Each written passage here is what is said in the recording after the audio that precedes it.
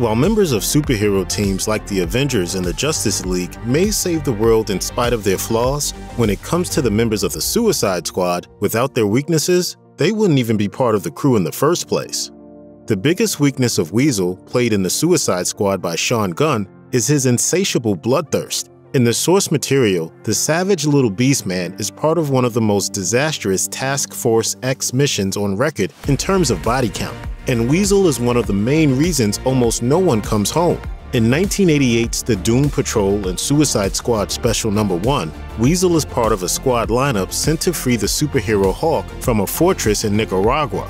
Rick Flag leads the squad, which, along with Weasel, includes Psi, Thinker, and Mr. 104, and he's also the only survivor. Psi and Mr. 104 are both killed by the armored Soviet soldiers of the Rocket Red Brigade, while Weasel and Thinker kill each other. When the squad runs into members of Doom Patrol, who are also there hoping to free Hawk, things quickly get tense. Mr. 104, an old enemy of Doom Patrol, attacks the heroes. When Thinker tries to stop Mr. 104, Weasel, not caring about 104's grudges but just wanting to spill more blood, rips Thinker's throat open, killing him. Rick Flag takes Thinker's helmet from the villain's corpse and uses its power but unbeknownst to Flag, the villain imprinted the helmet with the final command to get revenge on Thinker's killer. Before Flag removes the helmet, it unleashes a powerful blast, killing Weasel instantly. As to the biggest weakness of John Cena's Peacemaker, well, it's kind of in the name. Be like a douchey Captain America. In spite of being on a team with the likes of Harley Quinn, the gun-toting vigilante suffers arguably the most singular mental illness of any other member of Suicide Squad. Traumatized by the suicide of his father, a Nazi concentration camp commander, Peacemaker has developed a troubling philosophy that peace is worth any cost, including killing anyone he deems an enemy of peace. The guy who believes in peace at any cost, no matter how many people he needs to kill along the way.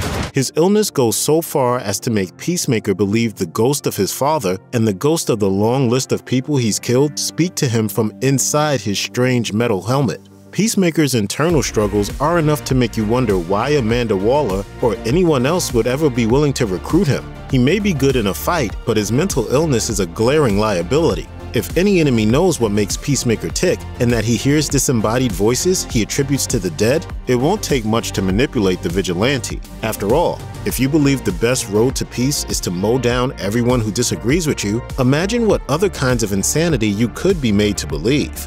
Savant is a genius, and he knows it. While he doesn't boast any kind of metahuman abilities, his intellect and hand-to-hand -hand fighting skills make him a formidable opponent, and he isn't shy about letting you know how dangerous he can be. Savant originally came on the scene wanting to become the next Batman, though he would eventually decide to turn his efforts towards blackmail. In the comics, Savant's time with the Suicide Squad makes it clear his biggest vulnerability is his arrogance. For example, Savant is a part of the squad lineup sent after Harley Quinn when she goes rogue.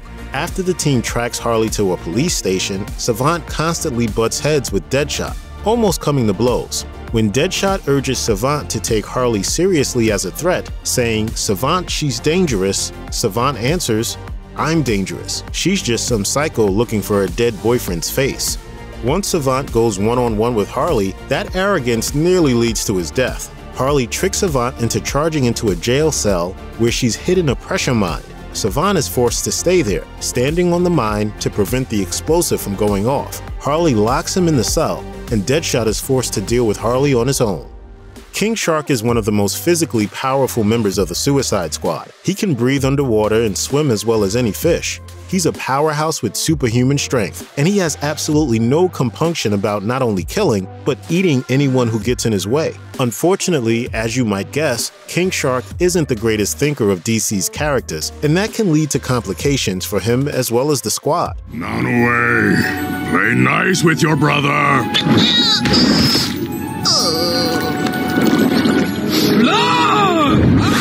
True to his name, King Shark is usually thinking with his stomach if he's thinking at all. In 2011 Suicide Squad number 2, for example, as the team battles a stadium full of grotesquely mutated humans, Deadshot has to urge King Shark to keep moving because the man monster keeps stopping to eat his victims. In the following issue, after Deadshot assures his teammates that King Shark knows to keep a low profile, the action cuts to the aquatic villain tearing through a farmer's chicken coop and devouring the poor birds inside.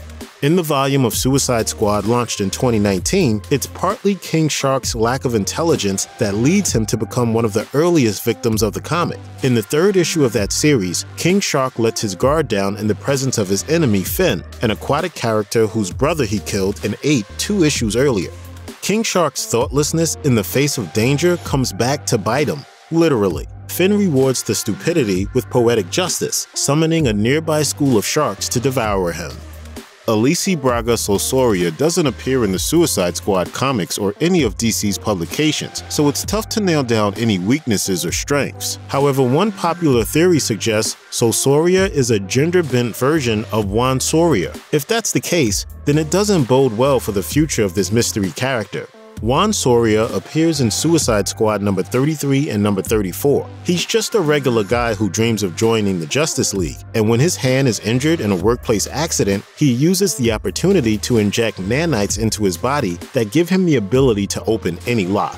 He tries and fails to join the Justice League, and shortly afterward turns to a life of crime. After the inevitable arrest, Amanda Waller recruits him into Task Force X, though his metahuman ability has less to do with her choice than his crippling low self-esteem. She sends the squad against a powerful alien, who ends up capturing Soria and feeding off his energy. Amusingly, Soria's self-critical negative feelings cause the alien to shrink to the point where he can kill it by stepping on it. Juan Soria correctly assumes he's destined to die, he becomes similar to Sam Rockwell's character Guy Fleegman in the film Galaxy Quest, assuming that because he's the new character with no codename, he'll be the one to die. My character isn't important enough for a last name because I'm gonna die five minutes in. Guy, you have a last name. Do I? In spite of surviving the battle against the alien invader, he's rewarded for his service by having his nanite enhanced hands removed, after which it's revealed that he was Waller's pawn in the plan the whole time. And then Waller puts him in the same cell as Killer Croc, who, it's strongly implied, uses Soria as a snack. Peter Capaldi's The Thinker is one of the oldest characters appearing in the Suicide Squad. His criminal career dates back to the golden age of comics, and among other exploits, he's one of the founding members of the Injustice Society. In the comics, the Thinker's abilities stem from the so-called thinking cap he wears. The cap gives Thinker access to powerful psychic abilities, such as telepathy and telekinesis. Without the cap, however, Thinker has no powers to speak of. Even with the cap, Physically, the Thinker isn't particularly formidable, and he appears to be the oldest member of Task Force X. This is similar to Thinker's situation in the comics, when he joins Task Force X in 1988's Doom Patrol and Suicide Squad Special. He warns his teammates that he plans to succeed in his mission and stop anyone who gets in his way because he's growing old and the pardon he's meant to receive for his service is necessary to live the rest of his life in peace. But the Thinker doesn't survive long enough to retire. When things go sideways, his teammate Weasel kills him with a single swipe of his claw. Thinker's biggest weakness, then, is his physical vulnerability. His psychic powers make it difficult to get to him, but if somehow you manage to reach him as Weasel does, then it doesn't take much to incapacitate him. As the head of Task Force X, Amanda Waller, aka The Wall, spends most of her time behind the scenes, monitoring the team and making sure they do what they're supposed to do. When the explosives in one of the recruits' necks goes off, there's a pretty good chance it's Waller giving the order to detonate.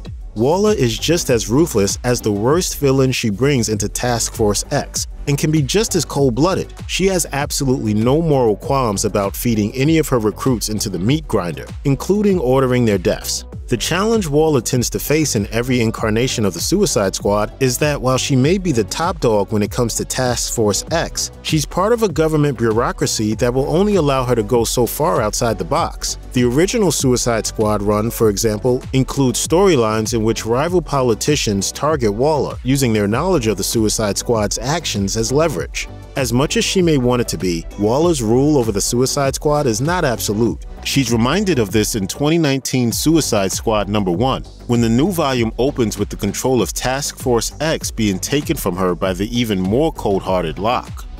In the Suicide Squad, Flula Borg will play the former Olympic athlete Javelin. The crook carries a high-tech cache of explosive spears, and he's been both a member of and enemy to the Suicide Squad a number of times in the comics, including the 2005 volume of Deadshot, in which Javelin joins a team of villains wanting revenge on the expert marksman. Javelin's biggest weakness is fairly obvious. With no metahuman abilities, he's highly dependent on his gimmick weaponry. As an athlete in peak physical condition, his hand-to-hand combat skills are nothing to sneeze at. But without the weapons that make up his namesake, Javelin won't last long. Not to mention that even when he does have his spears, they're not always a help. Like just about any comic book supervillain who's been around long enough, Javelin has been killed a number of times only to be resurrected, and more often than not, it's been in part his own spears that kill him. In Deadshot number 5, for example, the marksman kills Javelin by shooting one of his explosive spears while it's still in his hand. Years earlier in 1991's War of the Gods number 3, the sorceress Circe kills Javelin by impaling him on his own spear. There have been at least three different comic book versions of Bloodsport, though in the Suicide Squad, Idris Elba is set to play the original Robert Dubois, who comes close to killing Superman in 1987's Superman number 4 after shooting the Man of Steel with a sliver of kryptonite.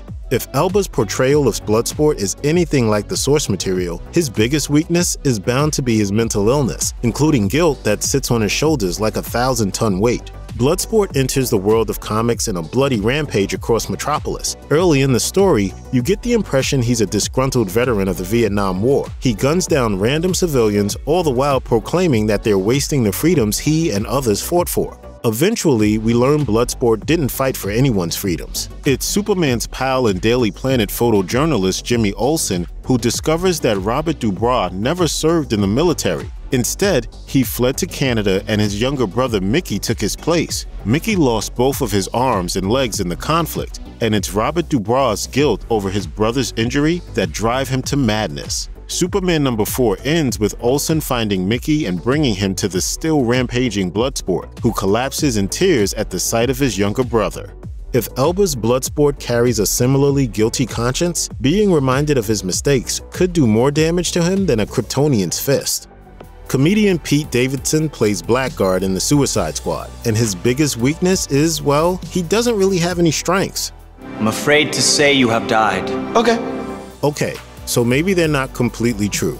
Blackguard's real name is Richard Hertz, and he was a common criminal before being recruited by the powerful Metropolis organization, the 1000. He wears armor capable of generating an energy mace and energy shield. Beyond that, he doesn't have a whole lot to offer. He isn't particularly bright, and while his armor would make him a huge threat to just about anyone in the real world, in the world of superheroes and villains, it doesn't mean a whole lot. Predictably, Blackguard doesn't survive his stay with the Suicide Squad. When the super strong General Wade Eiling turns on his teammates in 2008's Suicide Squad number 7, Blackguard is his first victim, and it doesn't take much of an effort to kill him. Eiling grabs Blackguard and rips his head off before the latter even knows what's happening. Digger Harkness, aka Captain Boomerang, first showed up in the 1960s The Flash number 117, kicking off a long career of being a pain in the Scarlet Speedster's neck. Along with being played by Jai Courtney on the big screen, Captain Boomerang has been a mainstay in the Suicide Squad comics for years. While portrayals change as writers and artists come and go, a regular hallmark of Captain Boomerang is also his biggest weakness as far as Task Force X is concerned. He's arguably the most consistently treacherous member of the Suicide Squad, and it never seems to end well for him. You're free to go.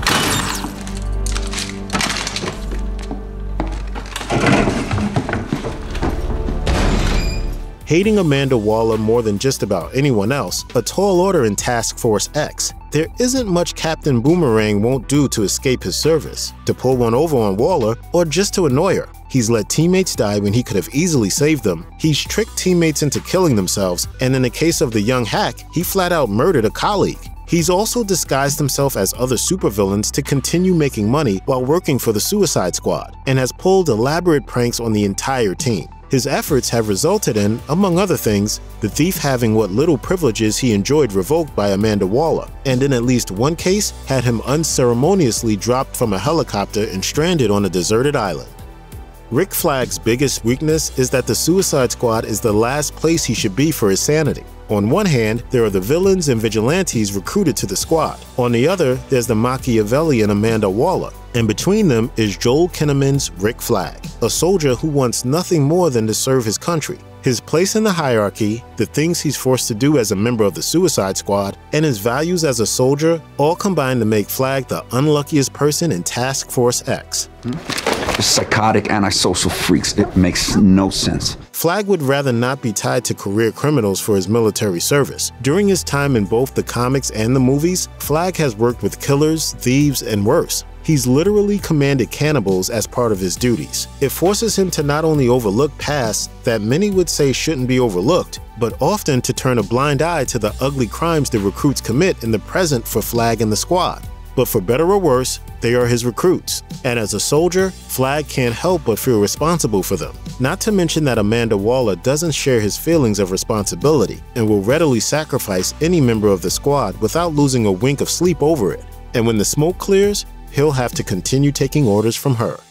Mayling Ng's Mongal is the daughter of Mongul, an interstellar warlord who's fought the likes of Superman to a standstill. Depending on who you talk to, Mongal's greatest weakness is either her lust for battle or her family. Like her father and brother, Mongal is blessed with superhuman strength and resilience. Also, like the rest of her family, Mongal revels in battle, and that could prove her undoing in the Suicide Squad. If Ng's version of the character is anywhere near as powerful as the one from the source material, she'll be more than happy to charge into any battlefield without thinking twice. And if the squad comes up against tough enough adversaries, they could get her killed.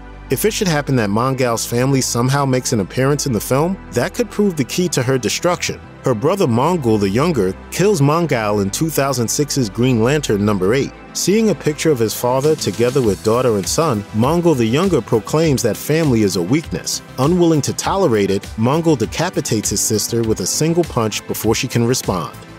Nathan Fillion will be playing a character named TDK in the Suicide Squad, though to die-hard comic fans, TDK is better known by the hilarious name Arm Fall Off Boy. The character premieres in 1989's Secret Origins number 46, when he tries and fails to join the Legion of Superheroes. TDK boasts the ability to detach his arms and legs from his body and use them as blunt instruments. You may have often heard people in movies and TV shows threaten to tear someone's arm off and beat them with it. Well, TDK is somewhat kinder. He tears his own arm off and beats you with it. TDK's biggest weakness is pretty glaring. His power, while hilarious, is pretty ridiculous. If all he's doing is trying to surprise a friend or get his buddies sick during a dinner party, sure, he's golden. But in an actual battle, he's kinda limited. As soon as he tears off one arm, well, that's it. He can only tear off the one arm because he doesn't have anything to tear the second arm off with, and nothing to swing it with regardless.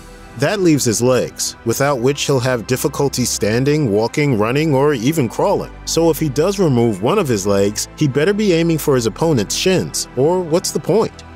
Daniela Melchior is set to play Ratcatcher 2 in the Suicide Squad.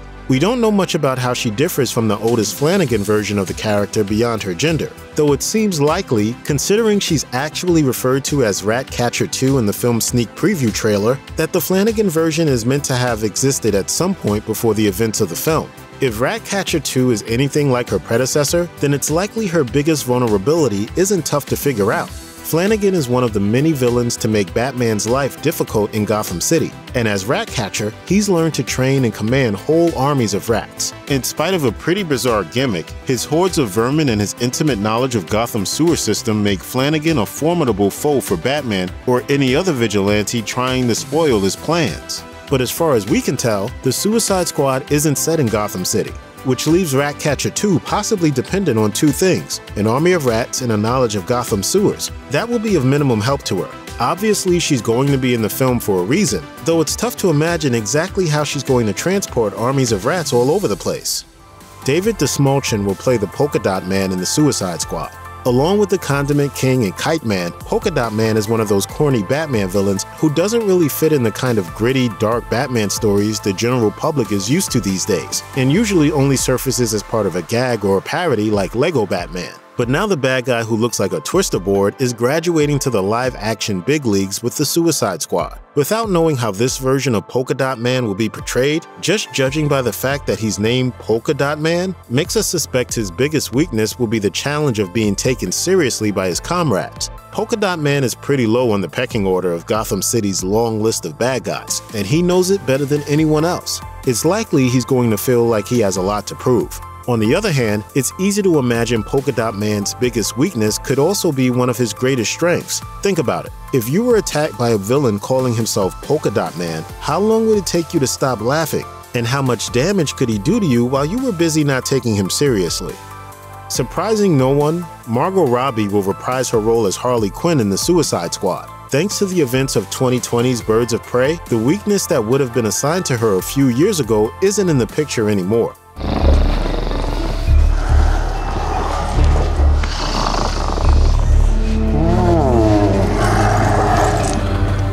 Most fans would likely agree that it wasn't that long ago that Harley's biggest weakness had one name Joker.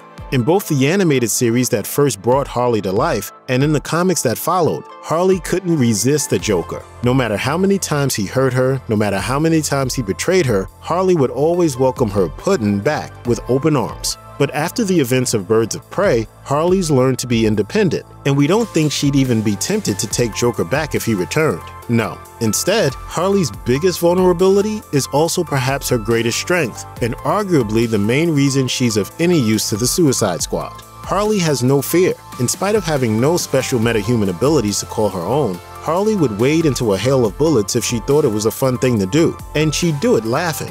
It's part of what makes her so dangerous, though it could ultimately send her to that creepy abandoned amusement park in the sky. Check out one of our newest videos right here. Plus, even more Looper videos about your favorite stuff are coming soon. Subscribe to our YouTube channel and hit the bell so you don't miss a single one.